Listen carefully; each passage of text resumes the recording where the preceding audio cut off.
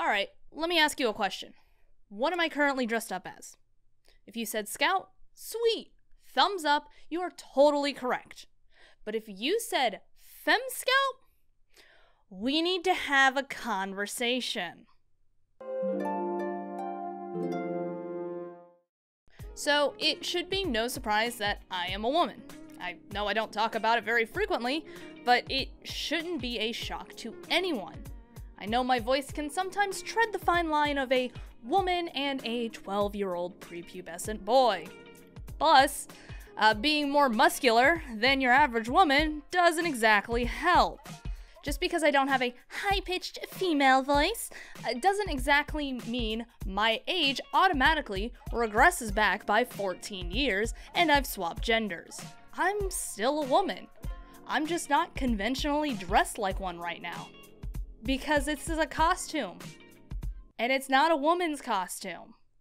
I'm clearly dressed as the Scout, Mr. Fast talking, baseball loving Bostonian boy.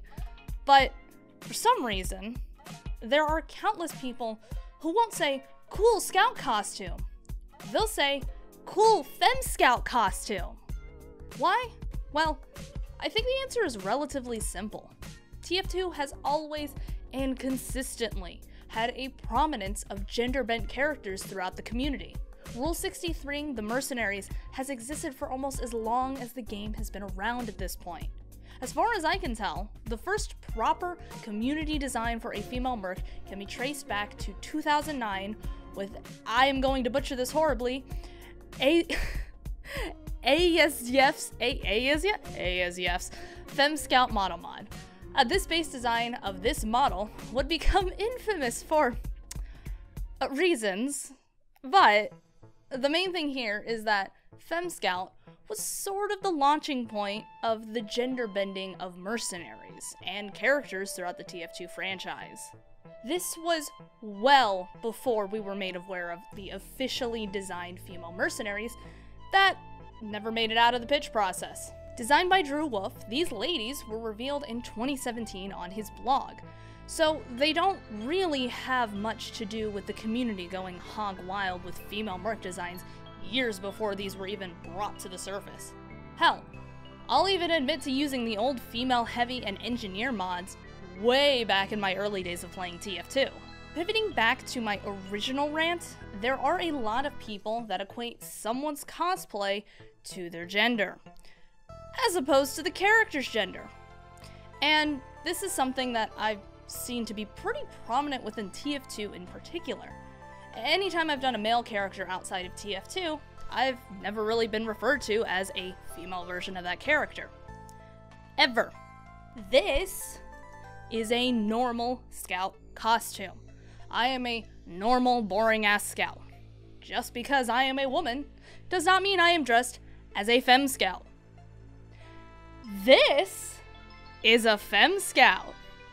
This is a scout costume that has been translated into a feminine style.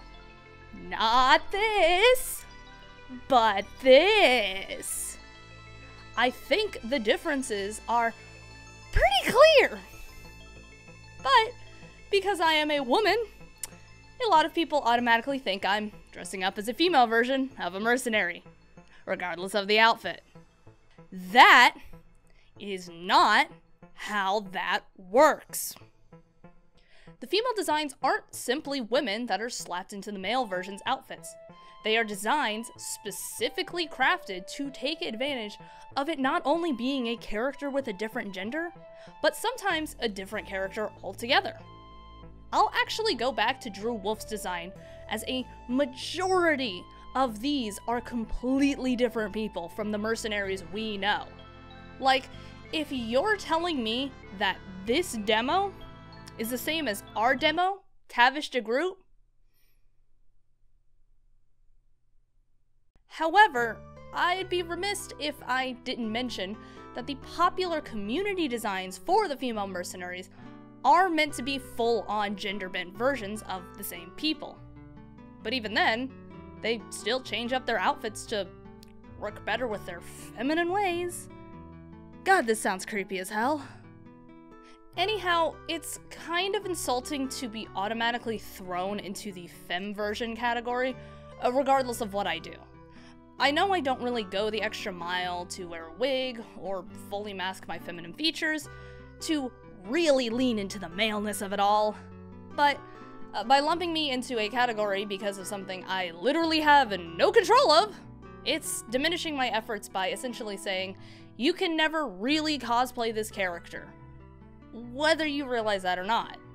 I've seen this happen to female cosplayers who do everything in their power to mask their female features bald caps, wigs, facial hair, binders, the works.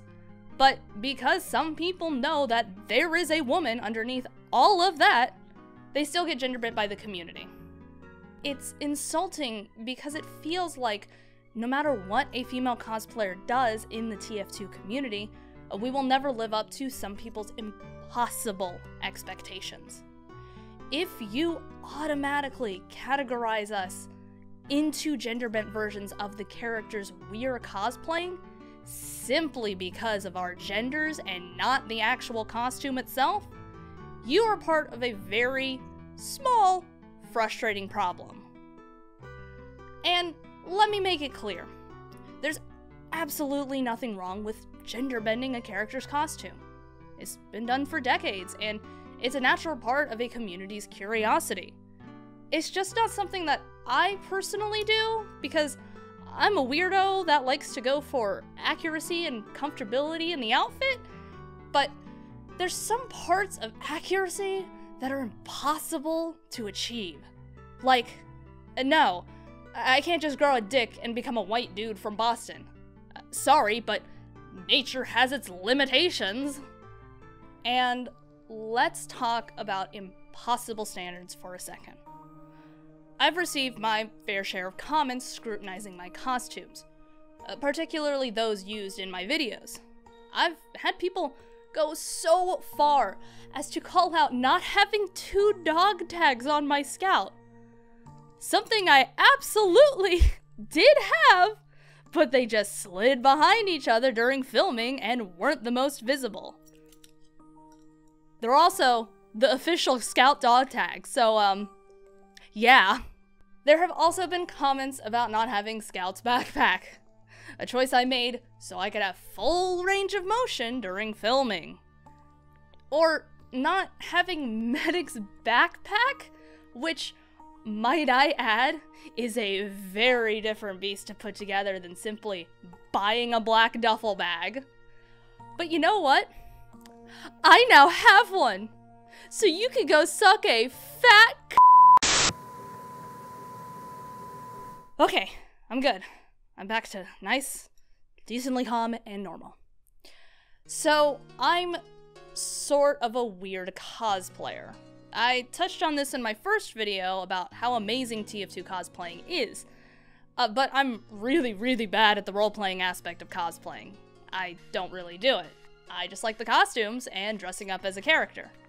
Uh, but even then, I pretty much never use wigs or makeup to transform myself. It's not so much out of laziness as it is comfortability. I just don't like either. I don't like the physical feeling of makeup and trying to cram my thick hair into a wig that has to be maintained is always a chore. But because I know I generally won't do these things, I tend to choose characters where they aren't required. You'll probably never see me dressed up as an anime character for that reason. Like, 95% of those characters' identities come from their logic defying hairstyles. Because I often forego these aspects, the only thing I have to transform myself is my costume. And this goes back to my first video where I talked about why anyone can do the mercs. They're all about the outfits. But I think, even if I did use these techniques to mask what little femininity, femin, it's like anemone, that I have, I'd still be labeled as a female version, simply because of... Wait, Imagine I am gesturing to my chest simply because of these. Yeah, you, they're, they're not they're not there that much, but you see them? Yeah, cool. That because of that. Mm-hmm. All right, so we know the deal. You can't talk about being a woman without touching on harassment. It's just the way things are. Stinky boys don't want our cooties cootying up their sausage fest of a game. Now, in this day and age, uh, there needs to be a separation of online interactions and real life interactions. And there is definitely a big distinction between what people experience between the two scenarios. It's pretty obvious as to why, but when someone is standing in front of you, staring at your face, they tend to bite their tongue and not say the same sort of things they would say if there was a screen separating them.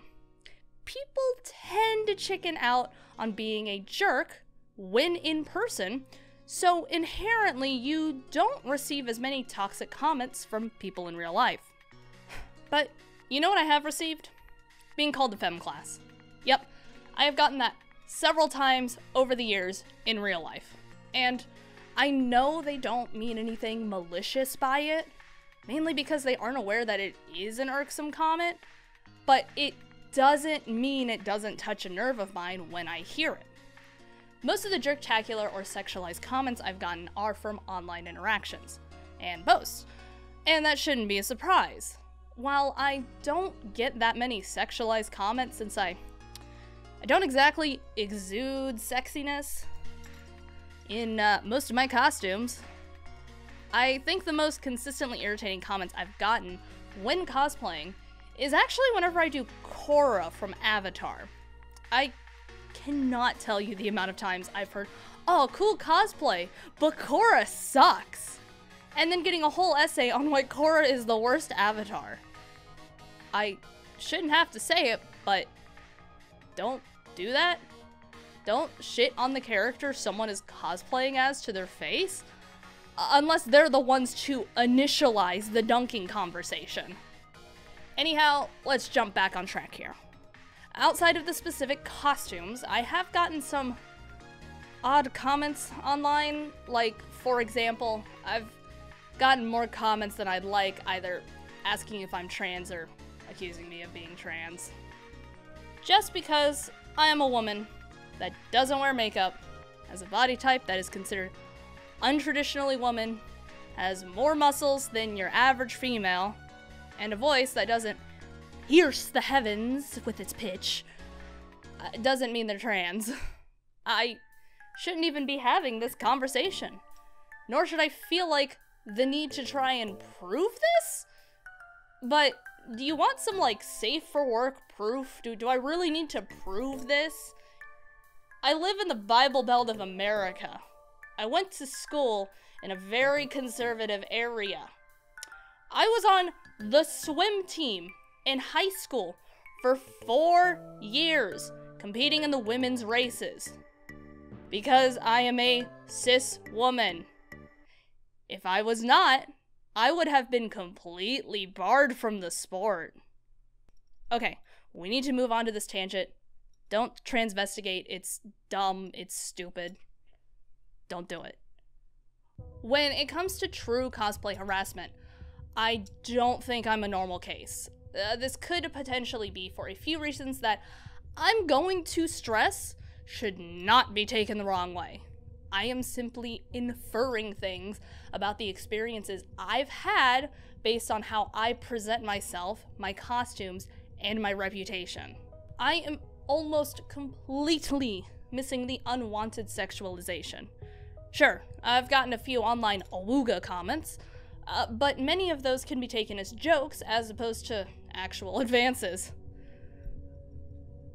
This one is hilarious to me, though. I don't exactly exude sexual energy. I probably don't even come off as attractive to many, and my costumes definitely don't help that. Look, I know I don't have the conventionally attractive aspects of a woman. I've got a friggin' swimmer's body, broad shoulders and small hips, but I own up to it. Now, this could come off very poorly, so please understand, I am not accusing anyone of anything. This is just my personal introspective hypothesis as to why I've never really experienced this harassment. But I don't wear any sexualized costumes. And in the case of this video, I don't Rule 63 any of them. It's just not my thing. I don't like tight and revealing clothing. It makes me personally uncomfortable. Genuinely, if you saw me walking around in my everyday life, you'd either catch me in exercise clothing or a t shirt and jeans. In terms of TF2, what this means is that I do not cosplay the FemMercs. All of my costumes tend to go for the original designs. Boring, I know, but it's what I enjoy doing. The unfortunate fact of the matter is that being in a more feminine costume opens you up for unwanted advancements and harassment, more so than wearing clothing that is clearly male and keeps you covered up. Hilariously, the most revealing costume I've ever done is Saxton Hale and his booty shorts. The manliest man in TF2. Another reason I think I don't receive a huge amount of harassment is that I do have a reputation in the TF2 community. It's not huge, but it's not small either. Uh, like my content, my reputation is solidly mediocre. But I am sort of a public figure within the community, and that might deter people from harassing me to some extent. Outside of the TF2 community, though, when I go out to events and cons, I'm generally never alone. Not being alone also likely deters people from being dicks or creepy. The one time I went to a convention alone, I did get an uncomfortable interaction with someone. I was dressed up like the 11th Doctor from Doctor Who, and some guy came up to me and started chatting me up, asking about the show. Out of nowhere, he just asks, Would you date a guy who wore drag? This part of the video isn't to say that I haven't received my fair share of harassment over the years. I think anyone who has an online presence has experienced it at some point in their life. But I'm trying to explain why I don't feel like I can talk about it in length about this unfortunate byproduct of simply existing as a woman in a predominantly male community. My experiences aren't enough. So I decided to outsource. Hi, I'm Lee, also known as The Unusual Lee. Uh, I first cosplayed TF2 back in 2013, where I made my first ever cosplay, which was actually the Blue Femme Sniper.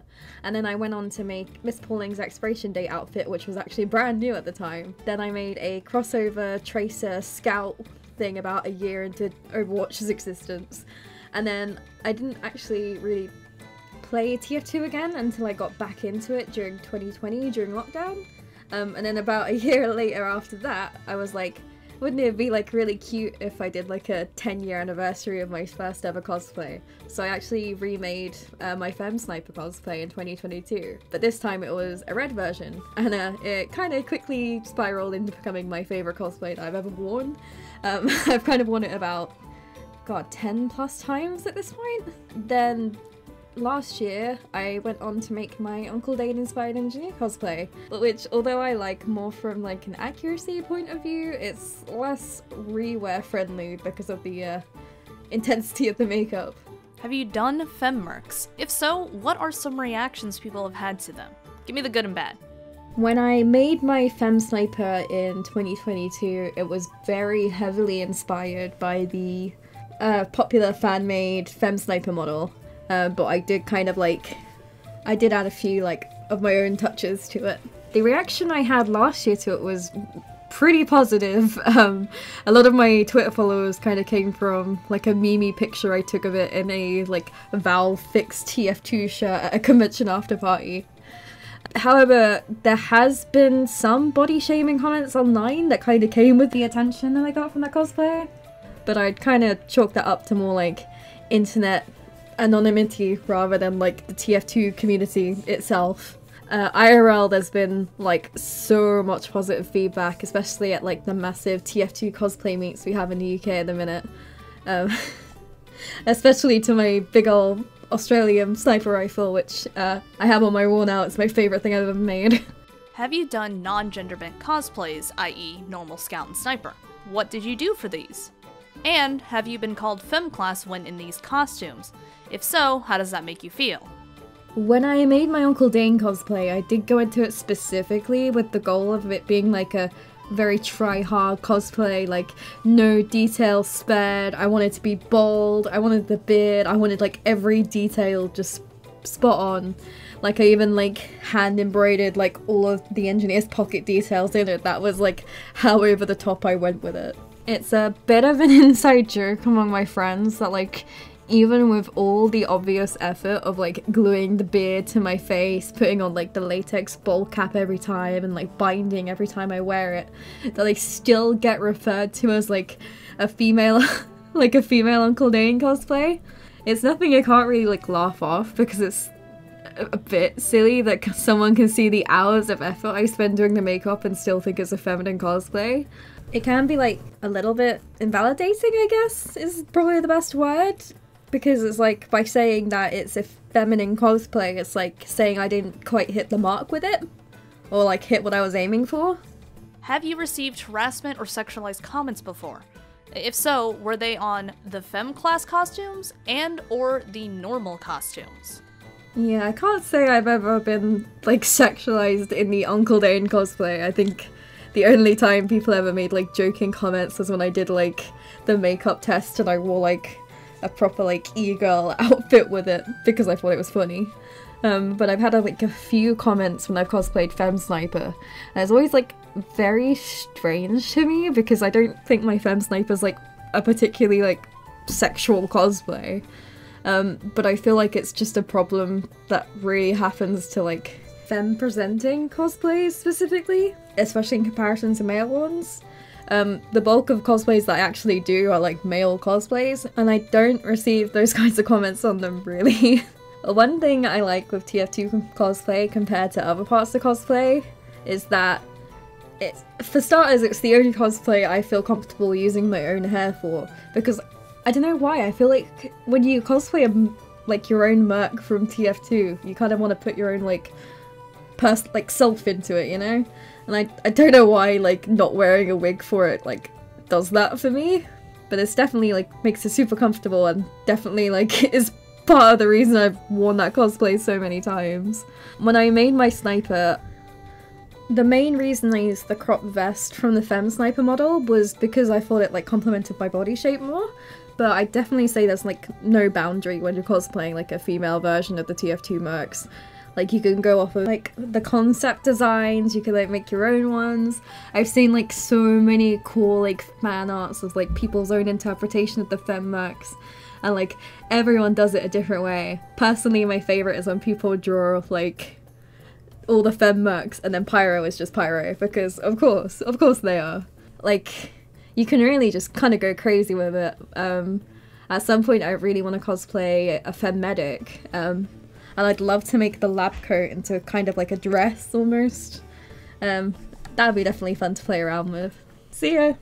I'd like to take what little time I have left with you guys trapped here to stress the fact that the issue regarding the labeling of fem class isn't necessarily exclusive to women any person, no matter their gender, if they are perceived as being female presenting, regardless of intent, is fairly likely to be automatically labeled as a fem class. And hell, the same can be said for any guys who dress up as a female character. But there's something specific about TF2 cosplay that just causes people to have to label opposite genders. I genuinely don't understand why people feel the need to put cosplays into very specific boxes that the cosplayers themselves either don't put themselves into or are actively trying to stay out of. And trust me, I know there's some irony calling that out, considering the past 24 minutes to some people probably sounded like I am a woman Stop labeling me as a fem scout. Which would still inherently be a label. But it's because I just want to make people aware of the irritation that exists when placing people into categories they are not intentionally trying to be in. When I personally do any costume, I am dressing up as that character. My own personal gender shouldn't come into consideration when doing male characters. That doesn't mean refer to me as a guy, just don't call me a fem class due to something I have zero control over. When I'm dressed up as Korra or Miss Pauling, I'm dressed up as a female character. When I'm dressed up as a scout or a medic, I'm dressed up as a male character. I'm not dressed up as a female scout or female medic. Now, something I should mention is that sometimes it's not the most obvious what someone's intentions with their costume is. Sometimes, someone intending to be a gender bent version of that character still leans pretty heavy into the original outfit. And I get it. Because of this, I can see why people do label me FemScout. Because the line can be easily blurred. However, 10 years of hearing comments like this does kinda get to you. So, yeah, this video exists for a reason. But remember, this has just been me sharing my own opinion and feelings on the subject matter. Some people may not feel this way, so it's always best to simply ask. If you see a cosplayer, you should either just ask them what their costume is, regardless of if you recognize it, or just say, Nice, insert non gendered character name here! Like, Nice Scout. Not Nice Fem Scout, not nice female scout, and not nice girl scout. Oh, and before I end this video, don't be an asshole. Ah, jeez, it's been a while since I did this. A special thanks to Trey Windle for still supporting me at my highest tier, despite the fact I'm horribly inconsistent with uploads. And a cool thank you to Moeke Kiryu, Shano Mahoney, Julian Arnott, and Jorge Aisha.